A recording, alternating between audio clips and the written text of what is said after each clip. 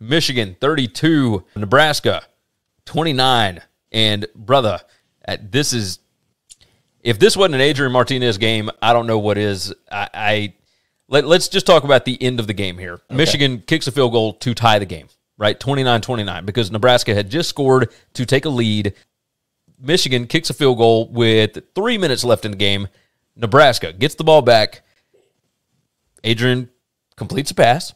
He hands the ball off for a run, and on third and one, Adrian Martinez runs for three yards and fumbles. And I, I, don't know, like at what you and I talked about this a lot off the air, and I will I will bring it up here. There is a clutch gene that some kids have that others don't, and Adrian Martinez is an incredible athlete, and he can make incredible plays when the game does not depend on it. That's right. And when it gets down to crunch time, and you have to have a play, and and not I'm not talking about turnovers or, or whatever, just like just don't turn the football over kind of stuff. That's it. We saw it against Michigan State. The worst pass of the game for him was the game or the play that ended it, right? He threw a pass, intercepted, ball game over. You had to have a score there. In this situation, you you're in a tie game late, and and you're just trying to either drain the clock or make enough plays to get into field goal range. The only thing you cannot do there is turn the football over. And yet, that's what happens. Ethan said Adrian Martinez must bet against Nebraska every week because he makes the same mistake every week. Well, that's the thing. It's a different mistake every week. Like it's it, it all looks the same, but it's a mistake. It's a mistake every when time. he needs to make the play, he just can't do it. He just finds a way to make the mistake more than make the play. It is so frustrating to yeah. to see because you know that he's good. If you look at the box score, 18 out of 28, 291 yards, three touchdowns, one interception, ran the ball 8 times for 38 yards, one touchdown. Like he is the offense.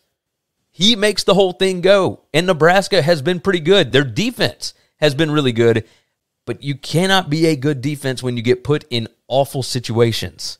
And that's what Martinez does time and time again and it's drive it drives me nuts nuts because I, I want them to. I think football is better when Nebraska is good.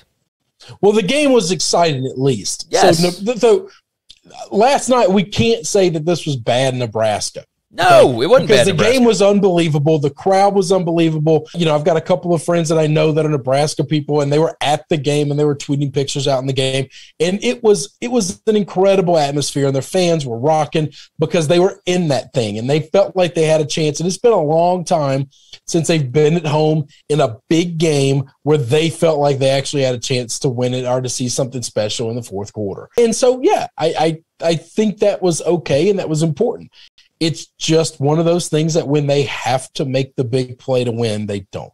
The post game win expectancy in this game, Nebraska 62%. And so basically, it, for those that aren't aren't up on the advanced stat stuff, you take those same statistics that happened last night and you play the game 100 times, Nebraska wins at 62 out of 100.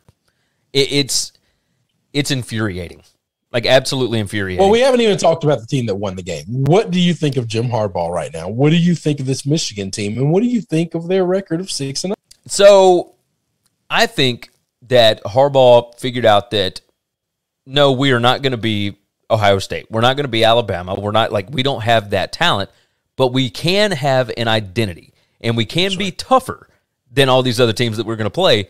And so long as they play to an identity and don't make mistakes they are a really good football team. Now, a really good. Let me tell you. Team. Let me tell you who I think he's trying to be. I think, and I don't think they're this. I think he's trying to be Iowa. Yes, with a better offense, I think. A better offense, but not nearly as good of a defense. No, but no, no. Still, we're winning the football game from the defensive front. We're trying to win the turnover battle. We're trying to take the ball away actively instead of just getting stops we're we're we're getting better at those things. I think that's what he's working on.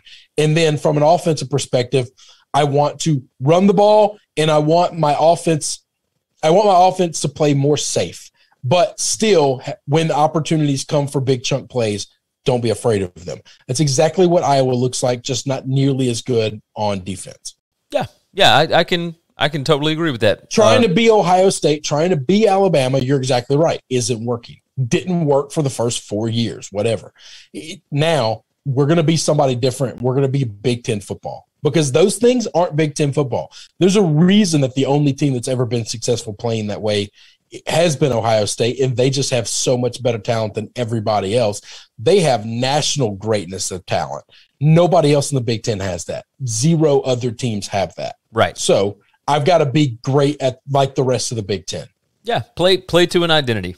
That's, that's the right. that's the best way to do it. Like just play to to what you're capable of, and you can absolutely do it. Uh, Mike G asked in the comments, took my breath away a little bit when he asked over under turnovers for Martinez against Iowa. I am sure. Uh, let, us set it at three and a half, and I would probably go over.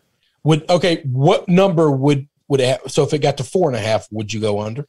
Or would, I might would still take the over because I feel like okay. I might get plus odds there. What What about five? At, at five, I'm going under. Okay. At, at, five, I'm I'm going under. There. Okay. I'm just trying to figure out how big of a number do we have to get to before before we actually say before we take an under. Right, I, do, I don't think he'll take that number. It'd have to be an even five. Like yeah. If it's five and a half, it's for sure an under. But I, oh, yeah. even five, yeah, I would. I would even even the worst quarterback in the world doesn't turn the ball over six times in a game. They usually get benched. I I wish, God, I wish he was good. Like I mean, he's he's good. I just I wish he wouldn't make these these mistakes because it's so it's just heartbreaking. Like they want to be good so bad, and and I think that the sport is better when they are good. And yet we have this time and time again. So, well, this is the last year that he's going to be there because he's been there for about a shade under a decade. Yeah, so, it's been it's been a little. At while. some point in time, they're going to have to find another quarterback, or they can't play football anymore. Michigan, I was a little surprised that they uh, threw the ball as, as much as they did. They they threw uh, 39 times. Caden McNamara was 22 out of 38. JJ McCarthy came in threw one pass. Uh, I, I, thought they would lean a little more on Hassan Haskins and, and Blake Corum. Corum, they only ran 13 times for 89 yards. I mean, he was getting 6.8 a clip. So I don't know what the deal was there, but either way. Thanks for listening to the Winning Cures Everything podcast. The website is winningcureseverything.com, and if you want to connect with us, we're on Twitter at Gary WCE, at Chris at Winning Cures, or you can email us, Gary at winningcureseverything.com or Chris at winningcureseverything.com. Subscribe everywhere you need to subscribe, and we'll see you soon.